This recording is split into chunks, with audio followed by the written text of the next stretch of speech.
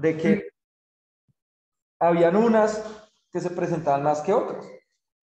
¿Sí? Entonces habían unas verdes más que las amarillas, otras eh, arrugaditas, otras lisas, pero siempre no era igual, sino habían unas que dominaban más.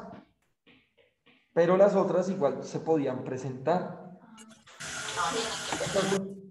obviamente, él se empezó a dar cuenta de que si las empezaba a mezclar, como que esos caracteres también se iban a expresar, se iban a mostrar. Entonces, digamos, por ejemplo, los grandes naturalistas necesitan lo más importante que nosotros hemos perdido un poco. ¿Sí? Y es la observación. Por ejemplo, si les parece desparchado Mendel, ¿cómo es que se llama el man que descubrió esto? No me acuerdo, no me acuerdo.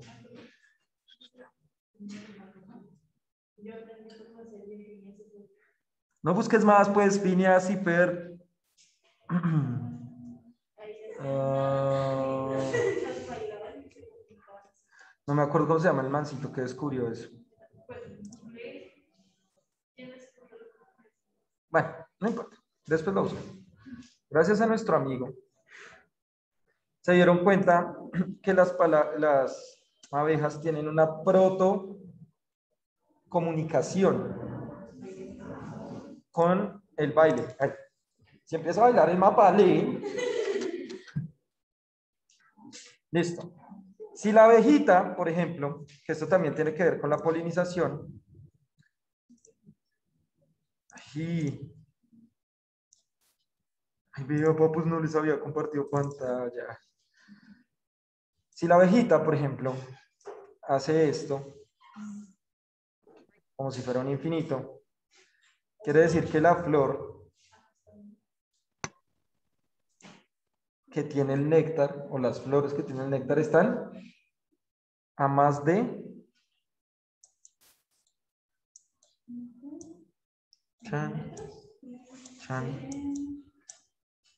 ¿Cuántos son 100 metros? Más o menos una cuadra. Esos son 100 metros. Una cuadra. Bueno, papu, entonces puedo hablar así, ¿listo?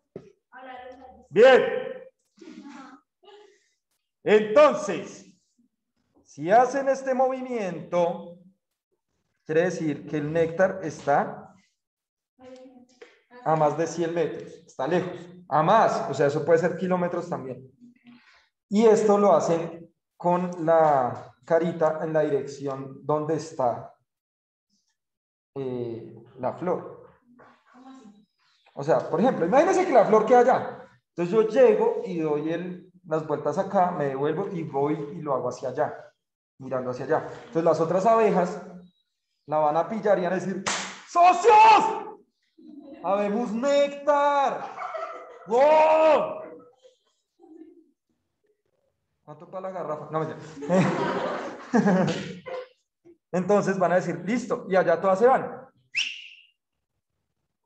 Pero si hacen este movimiento, bien redondito este, y el otro bien cortico, y vuelve. Está a menos de 100 metros. Chan, chan. A menos de una, está muy cerca. ¿Sí? La persona que descubrió esto miró las abejas durante tres años, todos los días. La persona que descubrió esto miró las abejas por más de tres años. Es más, yo creo que las miró durante mucho tiempo más, pero los registros oficiales datan de tres años.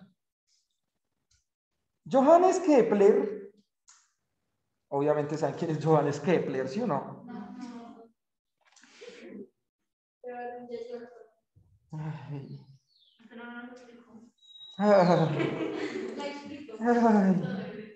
Obvio que sí lo vieron conmigo, solo que no se acuerdan. Johannes Kepler.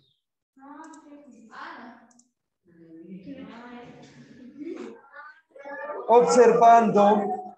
¡Ah! observando, solo observando al cielo, durante más de tres años, varios puntos y con cálculos trigonométricos, porque como ustedes saben, la trigonometría es la disciplina que estudia el mundo a partir de triángulos, trigos, trigono, ¿sí? Trígono. Entonces, a partir de eso, se dio cuenta que, pues digamos que ya Copérnico, ¿sí? Eh, había dicho que los planetas giraban alrededor del Sol. Listo. Pero se creía que giraban en órbitas totalmente circulares. Johannes Kepler, mirando al cielo durante más de tres años, tres, se dio cuenta que no, no giraban totalmente en círculos perfectos, sino en óvalos. Esos óvalos se llaman elipses. Observando. No, pues es que no voy a ver directamente al sol, papu. No, no, no, no, no, no. Y él usó telescopio, imagínense, si hubiera quedado ciego de una. No, obviamente él lo veía a ciertos puntos en la noche y las estrellas le sirvieron como referente para saber cuál era el movimiento de la Tierra. O sea, por lo que él hizo que ver este, que los planetas giraban alrededor del Sol, ¿no? ¿No se puede ver desde aquí? Sí, claro. Con un telescopio. Sí, pero no solo, o sea, si yo me quedo solo viendo, ¿qué veo? Por ejemplo, si yo me parara acá todo el día de las 7 de la mañana a las 3 de la tarde que ustedes salen y miro hacia el cielo, ¿cuál podría ser la percepción más lógica o la conclusión más lógica que yo podía sacar?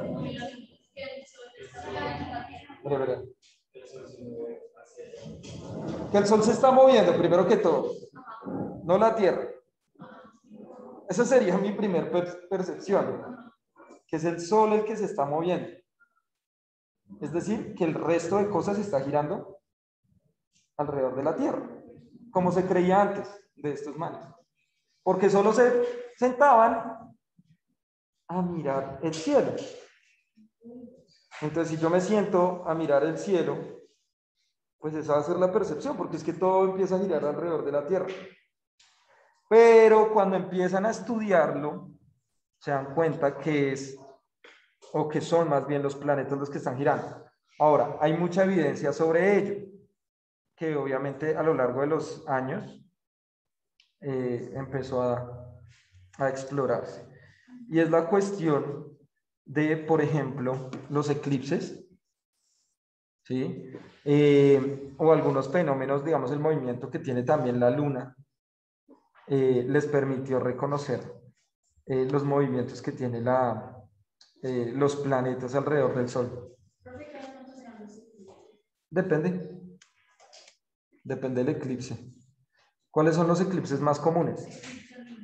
El de la luna, porque el ciclo lunar dura 28 días. Entonces es mucho más, está mucho más cerca, entonces da vueltas mucho más rápido que nosotros alrededor del Sol. ¿Sí?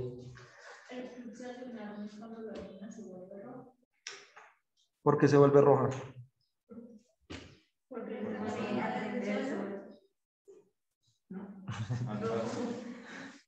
A ver, ¿cómo es un eclipse de luna? A este lado, ¿quién está? ¿Y quién está a este lado? ¿Y quién está en la mitad?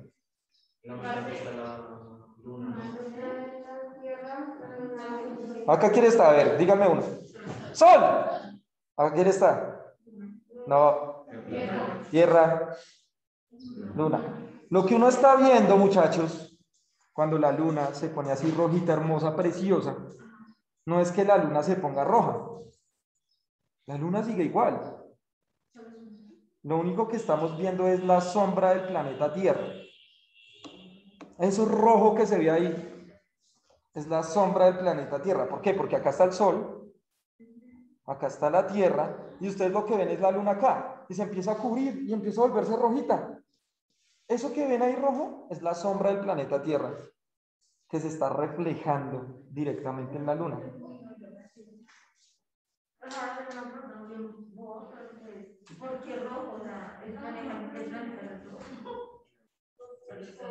¿Por los rayos directos que están llegando. O sea, es un, es un reflejo de que los rayos se golpean y eh, golpean la atmósfera de la Tierra y se refleja así la sombra. Si nosotros viéramos seguramente la, la Tierra a muchos kilómetros, con un telescopio se vería tal vez de pronto por el agua azul. Tal vez. Pero como está tan cerca la luna, esa sombra se refleja de una por la intensidad de la luz como roja en la luna. Mariam. De sol. Eh, De luna sí. de eso, ¿Por qué? ¿Cómo es? Ahora, ahora, ahora miremos el otro eclipse.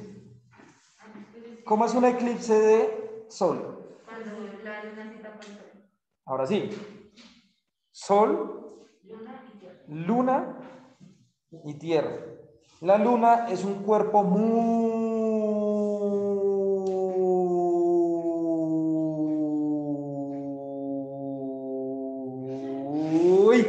pequeñito respecto al sol. Si bien está muy cerca a la Tierra, da la sensación de que eh, lo tapa. Pero no, o sea, es imposible que lo tape. ¿Eso qué quiere decir? Que si tú miras a un eclipse de sol directamente, los rayos ultravioleta, así se vea oscuro, alrededor todavía están llegando con la misma intensidad. Entonces tus ojos, eh, la retina de tus ojos se va a ir dañando y puedes quedar ciega.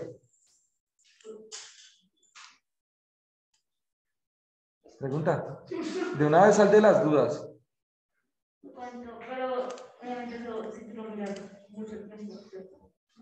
Pues es que igual, digamos, por ejemplo, si tú miras el sol directamente en este momento, todos los hemos, lo hemos hecho en algún momento de nuestra vida, ver el sol directamente. ¿Cuánto podemos sostener la mirada? Eso es mucho. O sea, dos segundos, tres segundos es mucho. ¿Por qué? Porque nuestros ojos de una por reflejo se van a girar de una por reflejo o se van a cerrar. Entonces vamos a empezar a parpadear mucho. Porque no podemos ver el sol directamente. ¿Por qué no podemos ver el sol directamente? Por los rayos ultravioleta, por la luz que emana. ¿Mm? Esa luz, la luz, es una partícula que golpea, pa, pa, está golpeando. Entonces cuando nosotros vemos, cuando nosotros vemos la luz, nos está chuzando los ojos, literalmente. Por eso vemos.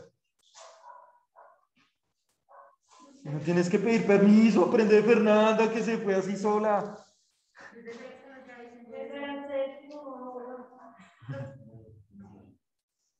Vamos a devolvernos, ¿no?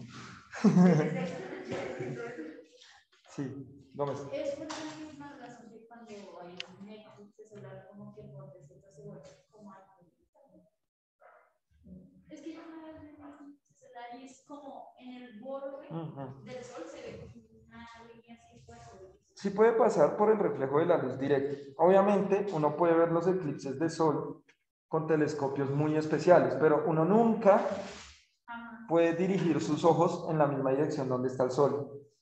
Porque si así tú cierres los ojos, los rayos ultravioleta pueden atravesar la materia. O sea, pueden atravesar nuestros párpados. Igual perderemos la vista progresivamente.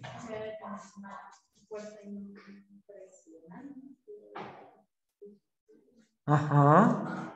Pues es que imagínate, la luz viaja a 300 mil kilómetros por segundo, Es lo más que se conoce así. Porque los eclipses se dan cada tanto tiempo.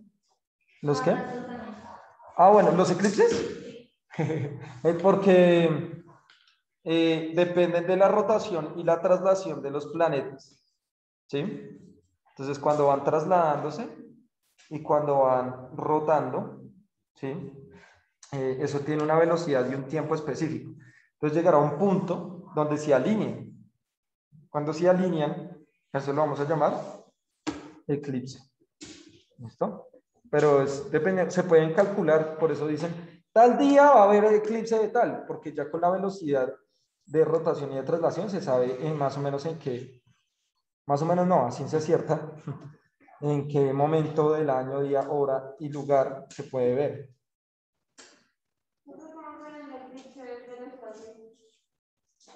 Pues no se vería un eclipse. Se vería la posición de los tres cuerpos. Digamos, imagínate en la estación, bueno, lo que pasa es que la estación lunar, la estación espacial internacional, ¿sí la han visto? Ay, muchachos.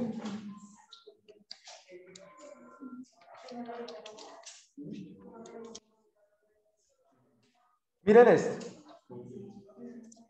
Esto se llama la Estación Espacial Internacional.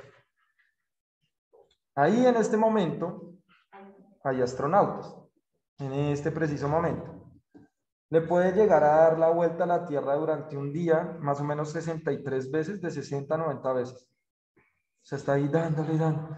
Entonces imagínate eso eh, viendo un eclipse. Claro, ¿podría haber la luna ahí? Obvio sí. ¿Podría haber el eclipse? Sí. Pero va a pasar muy rápido, por lo rápido que está girando esto, ¿sí? Que se está moviendo.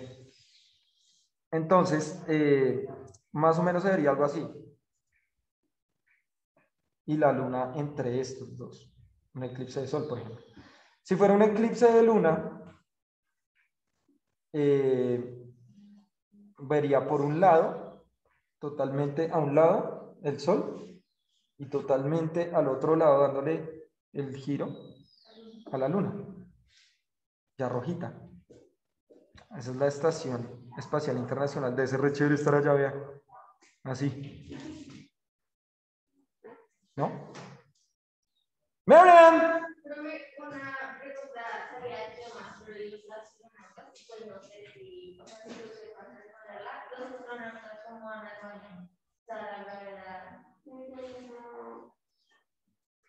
Imaginación. Sacar la cola al espacio. Y que todo fluya. No, mentira. Tienen... Ellos tienen que tener mucho cuidado y por medio de bolsas eh, tienen que tratar los desechos. Y tienen eh, baños que se despresurizan un poco para arrojar los desechos al espacio y esos caen a la tierra. Y nosotros decimos, oh, está lloviendo. ¿Eso sería posible? No. No, porque eso se vuelve como más sólido. La atmósfera lo destruye. O sea, puede que entre a la tierra, pero de una la atmósfera lo destruye, lo degrada y ya no hay nada de nada. A menos que usted sea tan de malas que, ay, la, la linda lluvia y saca la lengua y esta lluvia está como rara. No, mentiras, pero eso no puede pasar. Eso no puede pasar. Porque la gravedad es muy fuerte en el planeta Tierra. La atmósfera, perdón, la fuerza. Es decir, la atmósfera, entonces degrada eso. Si degrada grandes meteoritos así y quedan pequeñas roquitas, que las llamamos como en la noche, cuando llegan, cuando están entrando en la Tierra. ¿Cómo? Estrellas fugaces. Esas son las estrellas fugaces. Hola, Vane aprovecho para, me necesito yo ahora estudiante, pero aprovecho para eh, recordar la salida escalonada. Entonces, saben ustedes primero si normal porque no hay nadie por mi educación física. Okay. Entonces, saldrían escalonados el lado de la oficina. Listo, salen primero porque son muchos. Y necesito, profe, que me preste a los estudiantes eh, Ávila Henry y Mendoza. Mendoza y... No sé si vuelven, pero si vuelven, vuelven con el, o sea, venimos a la noche. Ok, si quieres venir ahí. Listo, muchachos. Si algo la grabación la subo a YouTube. Entonces, imagínate los desechos. Ah, Ay, papu, no va a repetirle. Es que preguntaron, Marian preguntó que cómo hacen sus necesidades los astronautas. A este man me está poniendo cuidado. Póngale cuidado, Carlos, hermano, ya. Ya. Volvamos a las abejas. Todo eso era para decir que la ciencia necesita Observación. Uy, no puede ser, Fernanda. No es vueltas, vea. Pero es que todo era alrededor de la observación. No, profe, necesitamos hacer caca en el espacio. No. Eh, sí, lo puedo guardar por Sí, la- sí, sí, sí, sí. Observación. Listo, vamos. Siempre necesitan más de de observación, no te das cuenta tres años.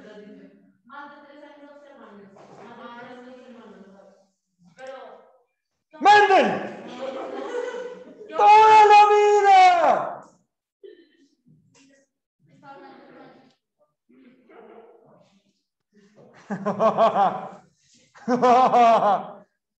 Entonces, todos estos, sí, sí, sí. Ya me iba a preguntar, estoy seguro. Obvio sí. Sí. Entonces, eh, es muy importante este experimento. El man no conocía cómo eran los genes.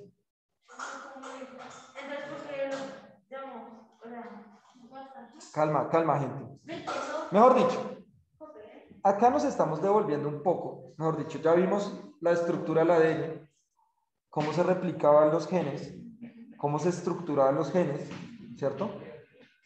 Y nos devolvemos un poco para entender que, listo, ya hay genes que sabemos cómo son. Pero para Mendel, antes de Mendel, no se sabía que eso existía. Entonces él se puso a mirar estas planticas en su jardín. Supongo yo que este jardín lo tenían en el monasterio donde él estaba, supongo yo. Y él empezó solo como a cuidarlas. ¿Sí? Así como cuando uno cuida matas en la casa, como ustedes cuidan sus matas, ¿sí o no? ¿Quién cuida las matas de su casa? Igual que yo. ¿Pero quién? ¿Usted las cuida? ¿No? Y, y ya, solo usted. ¿Su mamá no le ayuda a su papá? ¿Nadie? ¿Usted vive solo? Ah, ¿Usted vive solo? eh, ya ¿Tienen suculentas? ¿Y también la cuidas tú? más o menos. ¿Quién la cuida? ¿O nadie la cuida? Yo le he hecho agua y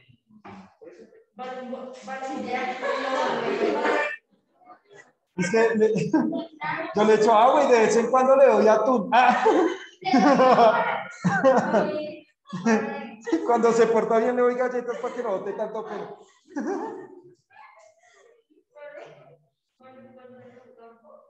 ¿Un qué?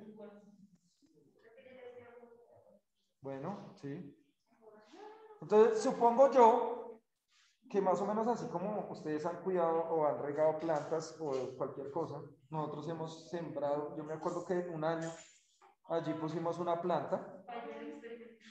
No, era para un homenaje a algo, algo, algo, Día de la Paz o algo así. Pusimos en los jardines de allá una, una planta que nunca más vimos. Jamás. Ni el profesor Miguel, que es el de biología, la volvió a mirar. ¿Mm? Eso, listo. Digamos que ese es Mendel. Man empezó a ver las arvejitas en su jardín. Y entonces, pues tenía varias. El, el jardín de Mendel todavía existe, ¿no? ¿En serio? Sí. ¿De dónde era el man? Austria. Austria, papu, Austria. Ah, no, no sé, toca buscar. Papi, pues Austria es Austria. Pille. Míralas, míralas. ¿Listo? Entonces, ese jardincito allá tocaría mirar en dónde es. Pues todavía existe. ¿Sí? Y hay muchos eh, científicos que lo cuidan. El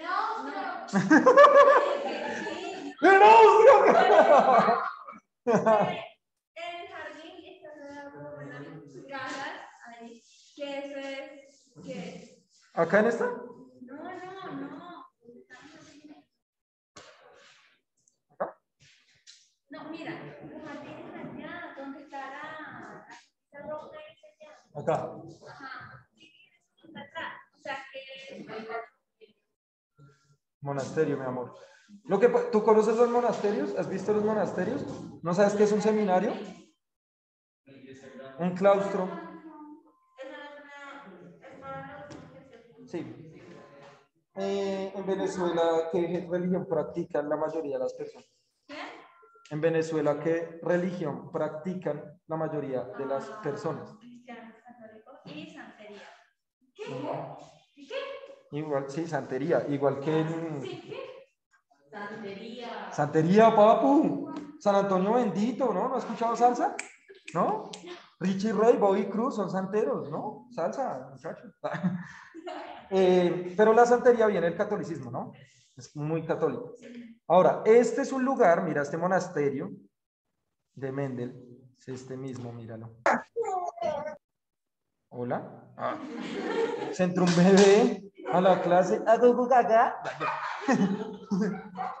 Vamos a dar biología para bebés. Listo. Entonces, este es un sitio donde los religiosos, acá en Colombia hay varios monasterios, como el monasterio de San Agustín, en Villa de Leyva, donde las personas, hay tanto de monjas como de monjes, las personas que deciden entrar a un claustro, se enclaustran. ¡Oh! Es decir, ya no pueden salir. Ya no, ya no salen. Ah, ya se están con fotos de siguiente. Exactamente. Ah. Su vida Un es como un convento para hombres. Pero más heavy. ¿sí? En Villaleiva hay un convento también, pero en el centro de Villaleiva. Y el de San Agustín queda más hacia afuera, que es solo para hombres. Entonces él, él vivía así. Entonces imagínate ahí todo el día pensando en Dios, obviamente, ta, ta, ta. Pero él también se dedicó a cuidar, así como en esta imagen, sus maticas. Entonces, ahí, ay, no, vea, esto tiene un piecito, lo voy a sembrar allá. Así, solo que en alemán. Ah, no, solo que en alemán. Así suena el alemán.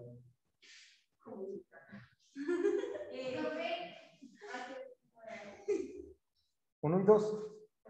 Eh, este. ¿Dónde qué? Queda el Digno Salvador. El colegio. El colegio Digno Salvador, el colegio Digno Salvador, pensándolo de acá. Eh, listo. Sí, sí sé. Porque, o sea, el Digno Salvador queda allá y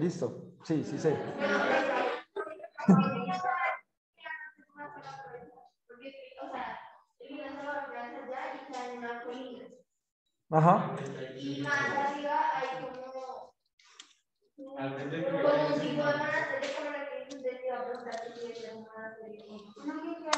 Yo sé quién nos resuelve la pregunta. El Google Maps. Vamos a ponerlo. Pues una hoja en la colina, como que sale por, por el, por el edificio que de acá se viene. Sí, por el por el abajo. Eh, hay una cosa que es de los testigos de Jehová. Sí, seguramente es ese. Muy cerca del colegio. A ver, no deja aumentar más, no. Es el único que me sale ahí, esa cosa del- de los testigos de Jehová. Me echa a ver. No, pero es que, a ver, mi pregunta fue esta. Él era padre, era creyente.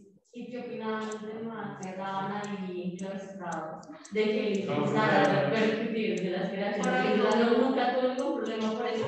No, mi amor, porque digamos que Mendel mm, se dio cuenta, Mendel se dio cuenta que habían cambios, pero él nunca publicó nada. ¿Él hizo también el voto de silencio? o? Pues sí, porque él, él era así. Si lo publicaban, Sí, ¿cómo sabían? Resulta, pasa y acontece que él muere. Y tiempo después, pero mucho tiempo después, imagínense, o sea, el man muere. Y entonces venga, venga y recogemos estas cosas de este man, que esto ya está haciendo es pero estorbo, vamos a recoger esta vaina. Entonces empiezan a mirar los documentos y se dieron cuenta, empezaron a darse cuenta que el man fue muy riguroso tomando notas de las plantas. Entonces empezaron a mirar y esos documentos pues pasaron ya a biólogos y ellos dijeron, uy, no, este man la tenía re clara. Ay, pero entonces nunca todo lo que hizo. Pero siempre estuvo con nuestro amigo. Dios. Pues para él, Dios. Mm, Seguramente pues él no lo hizo con el ánimo de tener ese reconocimiento. Y Mendel seguramente desde el cielo nos está viendo. No,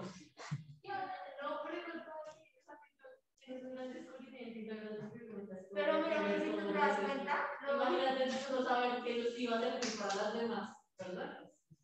Ujú.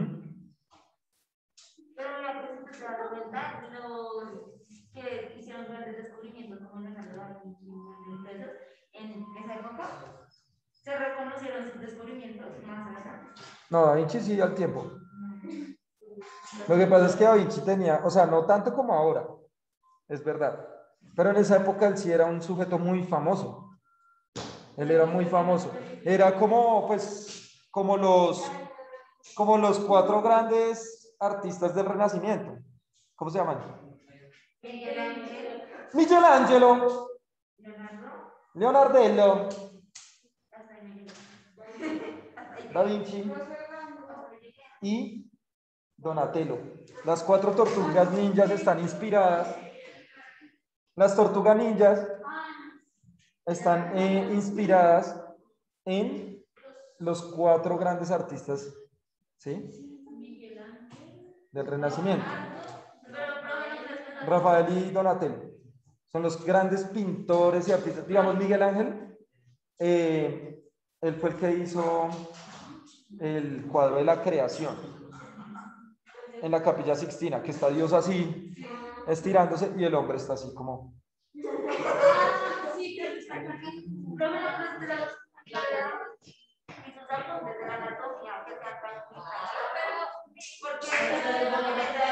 Muchachos,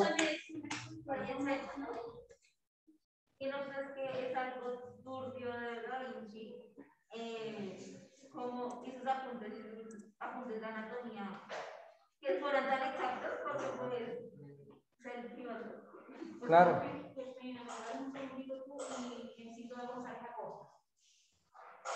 Mariam. Mariam. Mary. Entonces ya va porque tengo el nombre mal. Ya te digo. Pero de pronto sí, pues para qué pasó. María, contexto, please.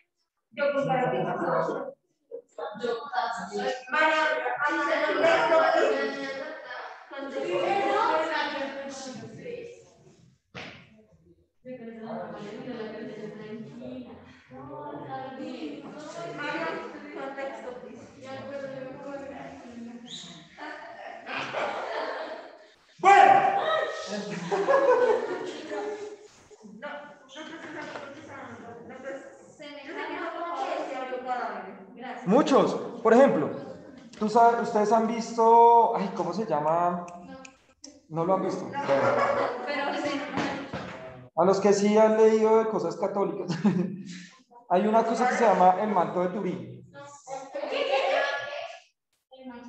Oiga, ustedes son católicos la mayoría, ¿no? La mayoría. Los católicos son cristianos, papu. Todo católico es cristiano porque cristiano es aquel que cree en Jesús como hijo de Dios. Y el católico cree en Jesús como hijo de Dios. O sea, es, es cristiano. Manto de Turín. Dícese de un, un retazo, un pedacito de tela en el cual Jesús untó su carita antes de morir.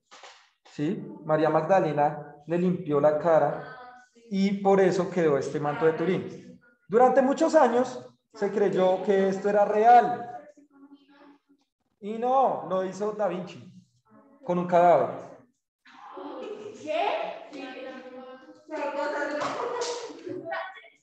Eh, lo, hizo, lo hizo Da Vinci con todo el cuerpo. Miren acá. Este manto ya no existe porque eh, se deterioró demasiado en un incendio en un monasterio. y se perdió, se, se- se destruyó, se destruyó. ¿Mm? No, no en el de Mendel, en otro. Eh, Entonces, ¿qué es lo que estamos viendo? Digamos, los cuatro artistas de- grandes del Renacimiento también eran muy buenos científicos. Por ejemplo, Miguel Ángel no quería la iglesia ni poquito. ¿Sí? Miren esto. Miren esto. El man era muy teso. Muy teso. Miren esto, miren esto, miren esto. Eh, él hizo, esta es la pintura más famosa de la Capilla Sixtina, la capilla más importante del Vaticano. En el Renacimiento le dijeron a Miguel Ángel, necesitamos un cuadro así que exalte la grandeza de Dios. Y el man hizo esto. Y los sacerdotes católicos no se dieron cuenta de lo que les estaban pintando. Miren esto, o sea, es muy fácil el mensaje. Dios, o sea, lo que hizo Miguel Ángel es esto. Dios está en dónde? En el cerebro. Esto es un cerebro, mírenlo acá. Mírenlo, mírenlo. Dios está en el cerebro. Y el humano no lo necesita. Es por eso que era- está así como, te toco, pero no sé. Pero él necesita, él sí necesita al humano para poder vivir. Miren lo que hizo, cuánto tiempo estuvo en la capilla Sixtina. Y está todavía, obviamente. Y era lo que, porque él no quería eso, pero le están pagando buen dinero. Ah, por eso digo, ellos sí eran muy famosos, pues respecto a lo que vivió Mendel. La cuestión con Mendel es que el mancito, pues estaba dentro de un claustro. No, no salía, no podía salir, no podía tener comunicación con los demás. ¿Me vas a preguntar algo? No, pues. Ah, sí, veámoslo así. Esto merece, mejor dicho, papu, esto es, esto es arte puro. Vea, vea, vea, vea, vea. Mm, ¿Y quién es el personaje? Angelitos. Y vuela, angelito, güey.